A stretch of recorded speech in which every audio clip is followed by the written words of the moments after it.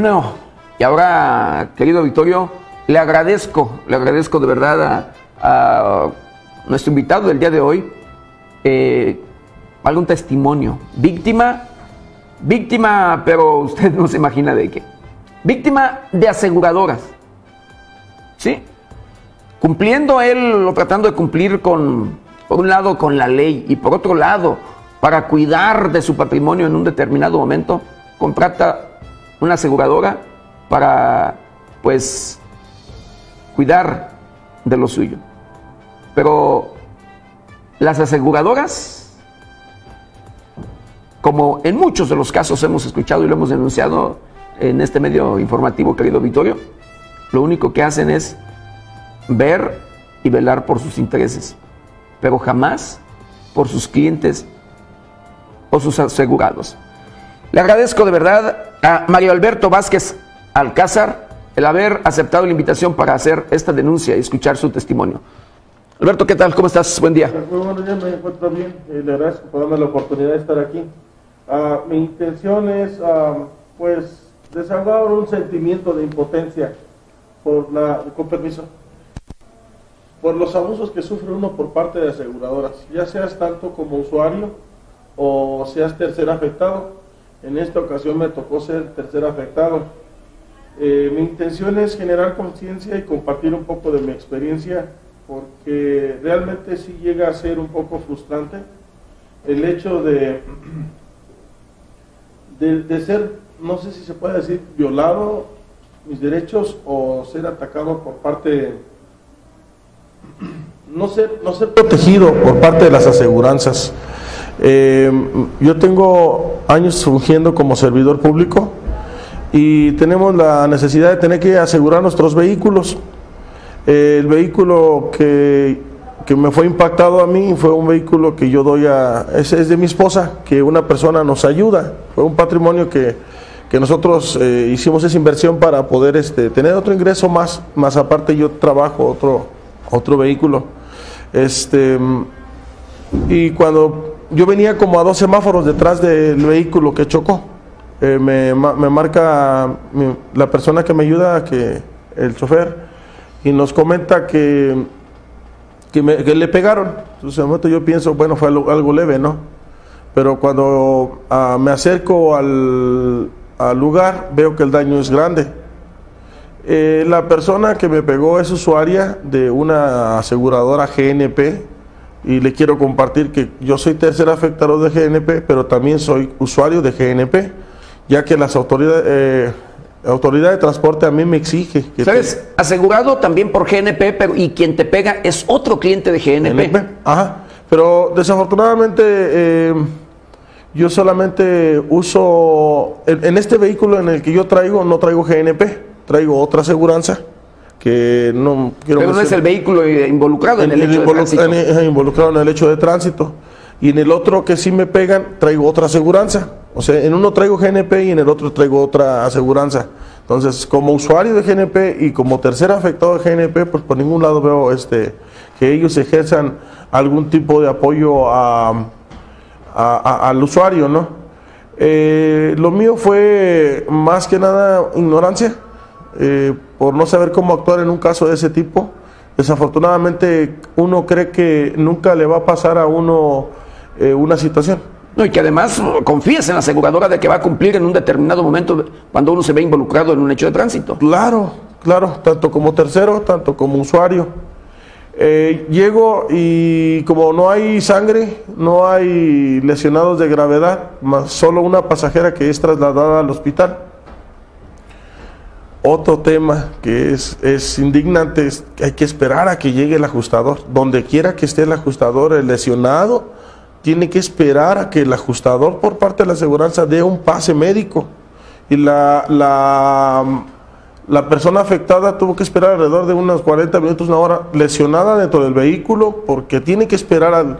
No hay una, o sea, yo le hablé y le hablaba varias veces y le comentaba, oye, ya vienes en camino. Tengo una persona lesionada que, comenta que le urge. La ambulancia no quiso hacer nada que porque ellos en su eh, defecto ven que no es necesario la hospitalización. Pero si mi pasajera me está pidiendo que quiere ser trasladado... acompañante además se siente mal, obviamente ahí es porque está lesionada, o sea, tiene... Tiene un dolor, ajá, pero pues yo no puedo hacer nada hasta que no llegue la aseguranza. Desafortunadamente, pues todos nos encontramos en una represión económica suscitada por lo que podamos poner muchos casos, en este caso la pandemia nos ha ¿Esto cuándo se registró? El 13 de agosto. Agosto, ya dos meses prácticamente, dos meses.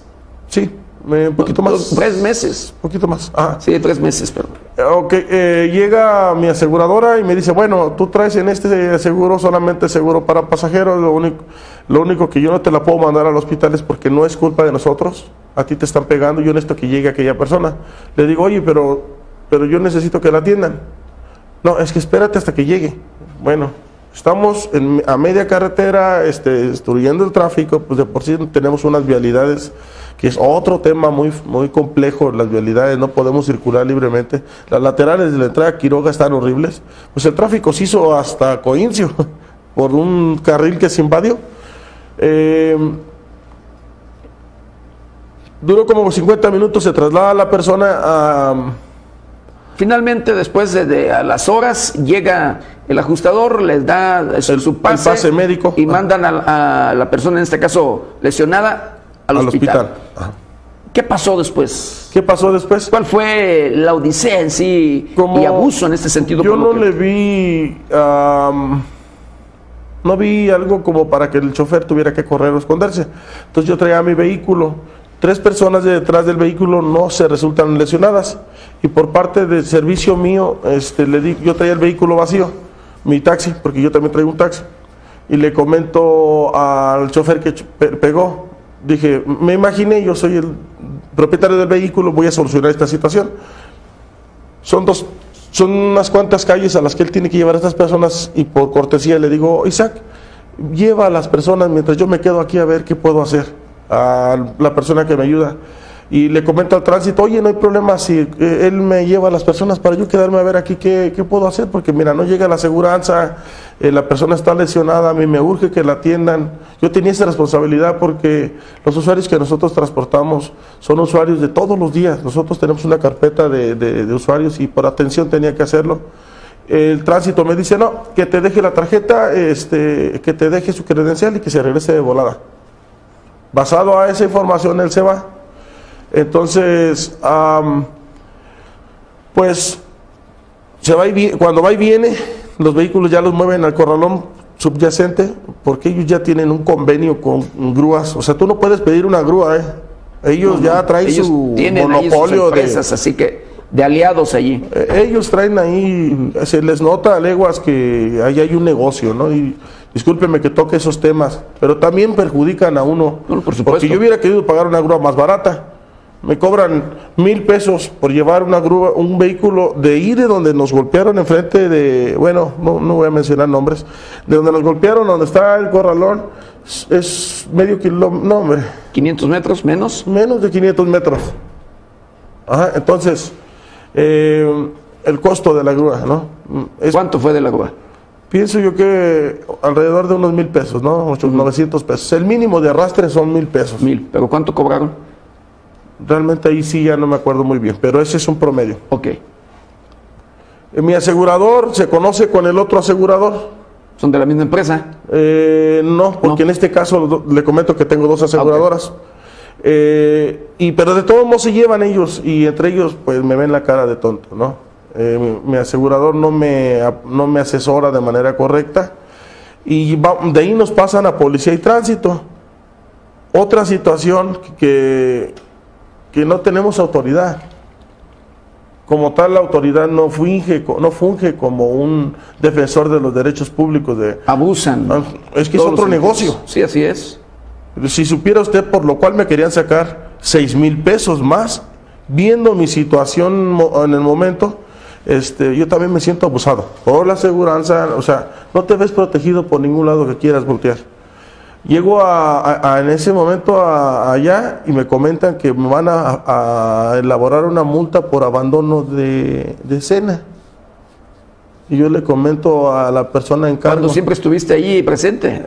Pues el Y hasta- muchacho, y ahí estaba. le pedí permiso al de, la, al de la patrulla para que se fuera el chofer que, que- al que le pegaron, porque él lo pegó. No hubo muertos, no hubo sangre, ah, y, nomás fue y vino. O sea, Dijera usted se fue y ya no vino. Eso es, eh, puede entender que es un, una- un abandono de cena. Y Ahí entonces hubo también ahí abuso por parte de las autoridades en ese sentido. resulta que Y- me, me comenta la persona encargada de, de la estancia de, de tránsito, no quiero mencionar nombres o no sé cómo se llama esta persona, si se ha encargado, porque al parecer era, no sé, me quiero meter en temas un poco más complicados. Y me dice, mira, te voy a hacer una, una infracción por seis mil pesos por abandono de escena. Le digo, oiga, pero permítame. Una patrulla de ustedes me comenta que, le pregunto que si puedo hacer el favor de transportar las personas que vienen atrás del vehículo, porque eran cuatro, como cortesía de un servicio y como responsabilidad mía, para terminarle su servicio las personas, iban al crucero nada más.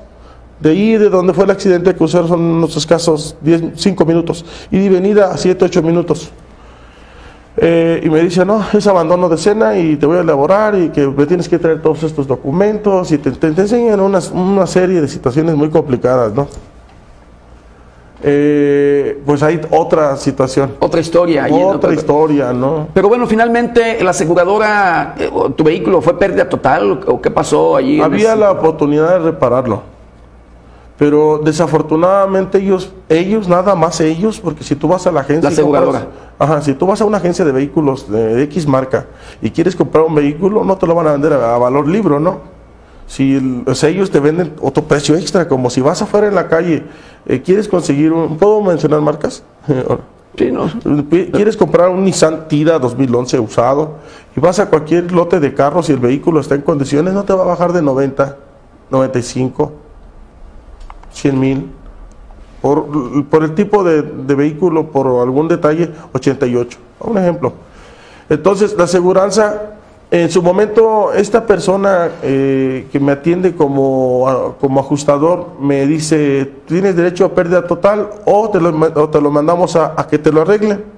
Eso fue lo que él me dijo a mí verbalmente. Te dio opción allí, Me- ajá, pérdida me- total o que te lo repaguen. y me dio un vehículo, me dio una hoja para que me pudiera liberar. Yo tenía que firmar por fuerza esa hoja. Entonces yo con la presión de que el carro tiene que arreglarse, que yo tengo presiones, tengo un- una situación de salud en mi casa donde me ha absorbido psicológica, emocional y económicamente. Entonces yo me veo presionado basado a que no, no me preparé o no tengo la información de cómo defenderme ante este, este tipo de, de este tipo de monopolios de aseguranzas, ¿no? Entonces me hacen firmar un documento donde ellos me habían dicho a mí que me iban a pagar mi vehículo en caso de pérdida total. Pues ignoro, dije, pues me van a dar lo que más o menos cuesta. Yo sé que no me van a dar lo que yo les pida, pero va a haber un precio más o menos. ¿Tu vehículo más o menos cuánto costaba? ¿Cuánto estaba evaluado? Yo considero que mi vehículo ya por el uso del servicio y todo, pues unos 85. ¿Y cuánto te pagaron? Me dijeron que me iban a dar 51.600 pesos. 51.600. No lo que realmente tú crees que valía. Si era pérdida total. Ajá. Ahí quedó, yo no lo afirmé. Y yo le dije, permítame, entonces déjeme ver qué me conviene. Marco al siguiente día y le digo, oye, ¿y por pérdida total cuánto me ofreces? 25, el cincu- el 50% del valor del libro. Ellos, se, ellos se, basan en la guía métrica, en, en el EBC o el libro azul, que son libros que les permiten a ellos este, ampararse ante algún artículo de la ley para poderte este, pagar tu vehículo. Y pues automáticamente yo reacciono, espérate, 20 25, entonces permíteme ir a Cash Collision donde está ellos, bueno, es otra, otra historia. Es que lo que le digo, para donde quiera que te muevas, no hay legalidad. Entonces, Finalmente, ¿cuánto te paga la aseguradora? Después de que, pues bueno, lo dieron como pérdida total. pues me lo pagan en pagos y me lo pagan meses después. Primero me depositan 11 mil y como me quedaron a deber 30 y tantos, digo, bueno, págame cuando quieras. Ya llegó un momento en que yo llegó a un fastidio y me dieron 46 mil pesos. en lo sé- partes, no te pagaron una sola exhibición. No una sola exhibición. 11 mil Y luego 34. 34. Ah. O sea, 45 mil pesos. Sí, pero nomás hay que recordar que yo tuve que hacer la baja, tuve que pagar algunos gastos para poder de trámites, para poder en- ya quitar las placas y todo eso. Me quedan 40 mil pesos de mi vehículo. Los abusos, los abusos de las aseguradoras en nuestro país, lamentablemente, querido Vittorio, cuando, pues bueno, uno trata de, pues, tener o asegurar, cuidar su patrimonio, el cumplir en ese, eh, valga en, es- en un determinado momento con ese eh, tema de tener asegurado lo nuestro, porque además la autoridad luego lo, lo obliga, pues vea, lo que se tienen que enfrentar las personas. La mala atención desde el inicio del hecho de tránsito y no, no atender a las personas que luego salen allí lesionadas hasta que quieren y pues todo lo que, lo que pues allí, como nos explicó, nos, explicó ahorita Mario Alberto Vázquez Alcázar con su experiencia.